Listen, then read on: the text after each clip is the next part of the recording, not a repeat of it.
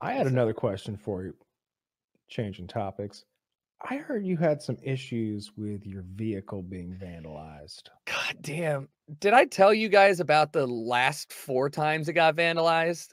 I, if you did, I I, might have- Yeah, all right. So let me try and go through a history of my vehicle because let me let me start back. I when I moved out to North Carolina or from to LA, I got my I bought my dad's car for like 600 bucks. It was a 2002 Pontiac Grand Prix, 295,000 miles on it. Like it whined, it was it was it was my beater, but that was the car that I had. You know, I was like a little YouTube guy. Mhm. Um, and then eventually, like once things started to pick up, uh, and I totaled the car by ripping off the passenger. My girlfriend at the time was backing up the car, ripped off the passenger mirror, and I w- took it in. They're like, "Well, it's totaled." the car's like, and I was like, that "Well, mirror just- was the last straw.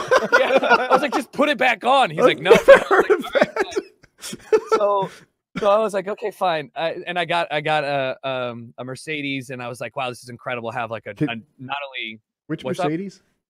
uh a C43 AMG. So I definitely did talk about that car Yeah. last because I'm I remember your a picture. Yeah, yeah. Anyway, Yeah. carry on. So yeah, so I I was like, this car is the it's it's incredible, and I'm leasing it. So I moved back to LA after a stint in Portland, and um I live on I live in Hollywood off of a very busy street. I mean, a ton of foot traffic and shit. And one day I go out of my car and I drive it, and um, it's like making a bump sound, and it's sh- physically shaking. So I pull over to the side. I'm like, something's wrong. I look around. I don't see anything wrong with the car. Like the wheels are all fine. So I call, uh, get a tow truck. They bring it into the shop. The shop has my car for four days. They're like, we don't know what's wrong with it. We can't replicate the problem, but when we drive at slow speeds, we notice it. And then eventually they find out because the way that my rims are, the lug nuts are tucked in deep into the rim. Um, they were like, oh, all of your lug nuts are gone.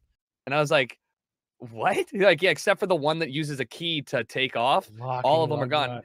Yeah, and I was like, so somebody tried to steal and brick my car in my eh, in my carport. So I'm parked on the street or in my carport that has street access. Can you explain bricking your car? Is that like when they? They put your On car on bricks. bricks. Yeah, so they take the wheels off. uh, yeah. Okay. Um, and I was like, you've got to be kidding me. And so I was driving, they were driving around on like one lug nut. That thing gets sheared off, and then like that person's dead.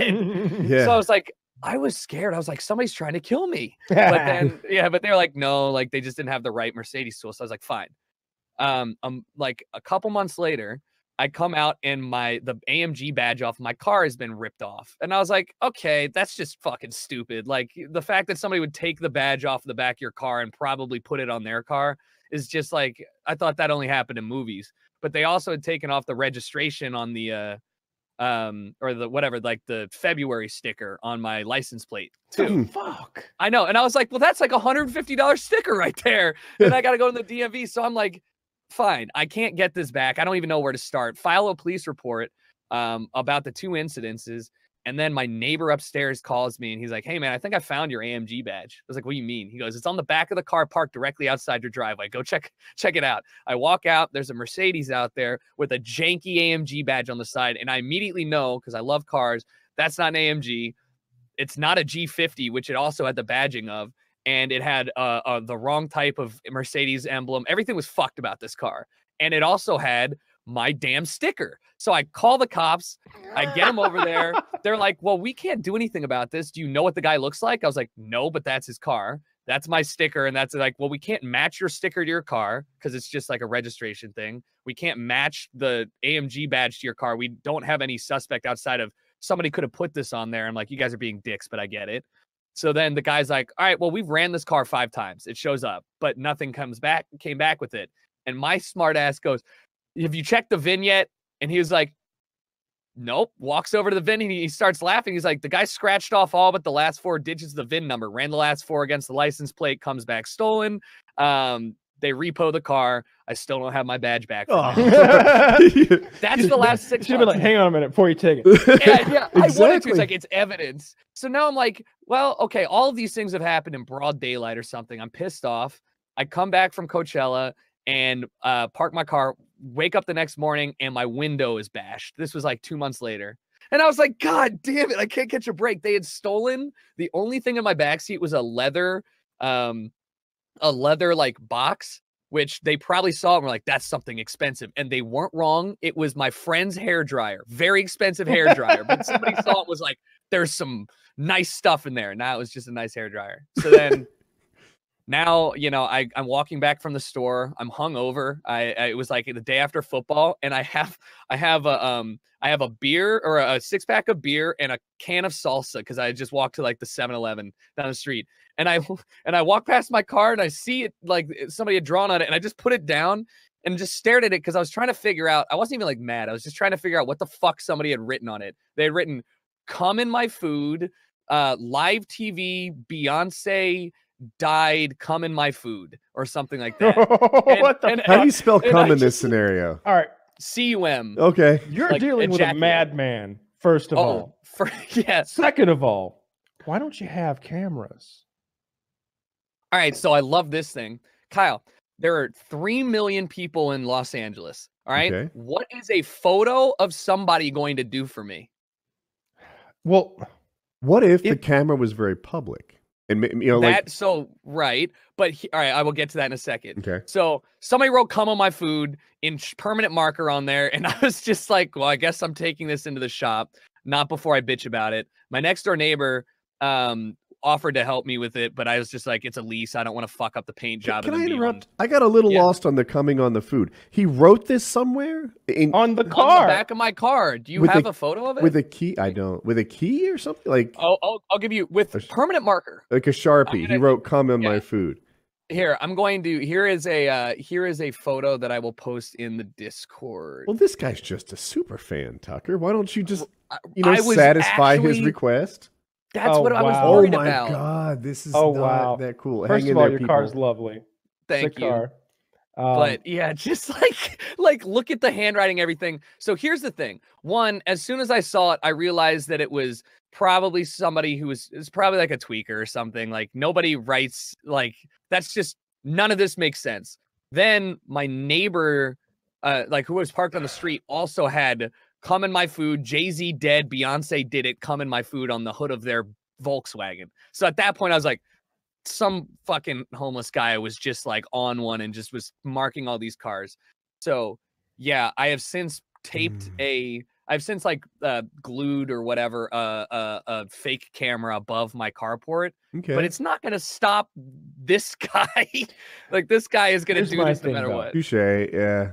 Here's here's why I think the camera is a good idea. First of all, they're very cheap, and you know, Mhm. they, it, when when someone walk, every every my house is full of cameras. My my the outside of my house is full of cameras, and like if if one of them gets tripped by motion sensing, I get a notification. It's like, hey, Kyle, move movement on the south lawn. Kyle, And I live on a very very busy street. Uh, my car is you on can- the street. I'm sticking with you. I'm off. sticking with you. I'm You can turn you. that off. You can turn the Okay. notification off. Um, it, has got night vision and the whole thing. You can watch Yeah. live from anywhere, any of your cameras, all uh, all the time. But if you recorded this maniac writing "Come in my food" on your car, I'm not saying that the that the LAPD is gonna like beat the streets and look, look for this guy. yeah. But you're a content creator, and this is Oh content. yeah, you're right. I could have gotten more content out of it. I could have monetized that Twitter video. Uh, yeah, you're right. There was Throw there was some money to be you- had there. yeah, yeah. Enough money to Mm. certainly. All right, so at the, Kyle's thinking. He's out lining. thinking all of us here, Tucker. yeah, the silver lining was that I took this into the dealership, and the guy the guys were cracking up. Like they they knew immediately they could remove it without any problem. But they ah, were the just cum bandit. Yeah.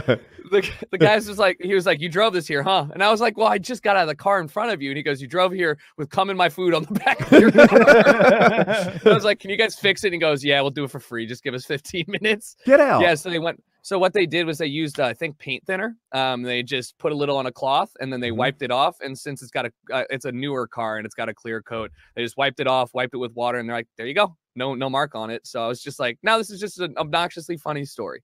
Did they the end of the world. was I- got a little lost in the telling of the, the This is the only damage on this time around. They on didn't- this particular one, yeah. Yeah. That sucks. I went to high school with a guy. That um Mercedes circle thing. Yeah. He um it might have been Volkswagen. Anyway, he popped it out of the grill and wore it as a necklace every day for like two years.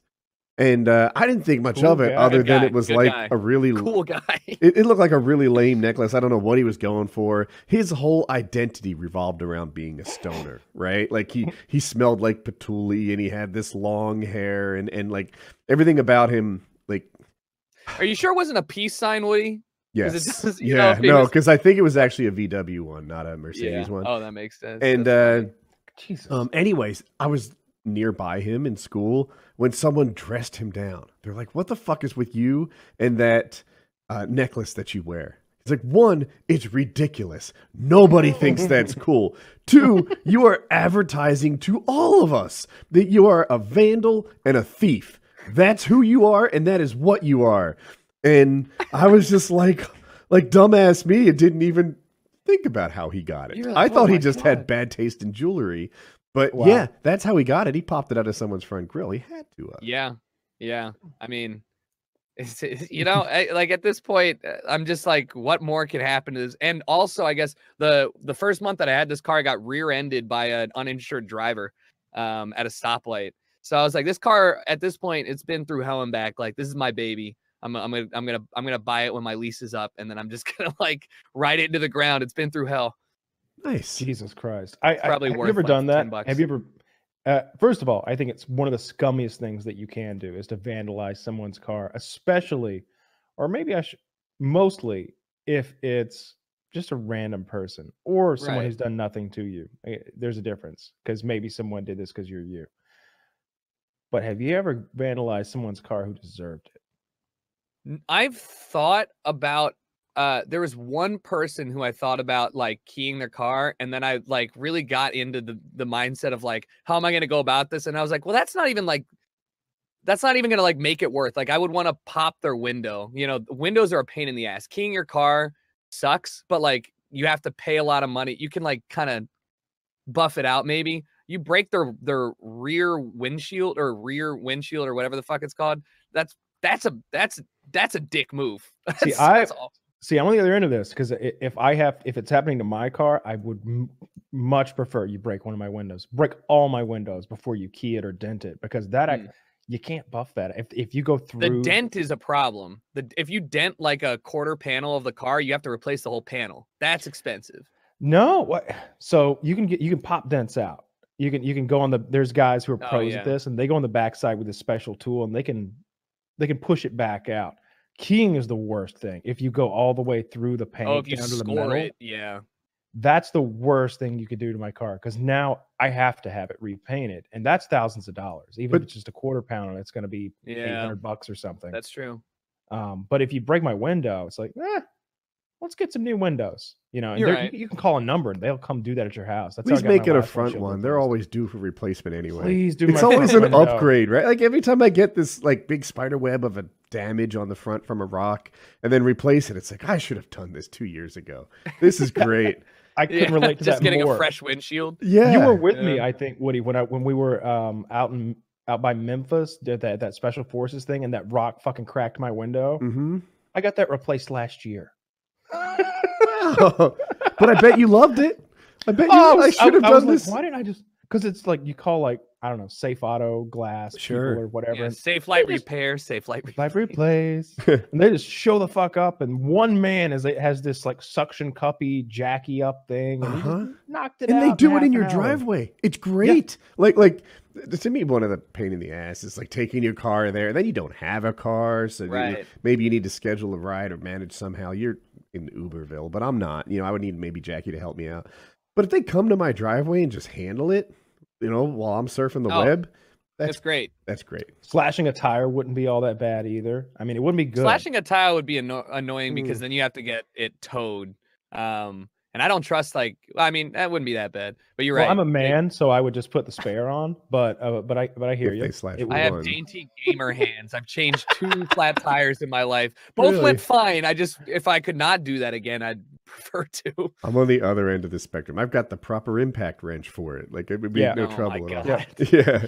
Uh, yeah, I, I'd, be, I'd, be, I'd be ready to go on that one. But the problem would be like, what if your tires have 30,000 miles on them?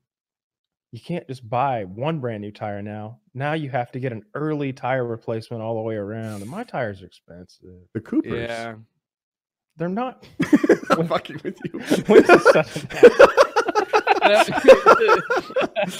I'll never forget that. Like, you can't even afford the Cooper's wings. Get out of here.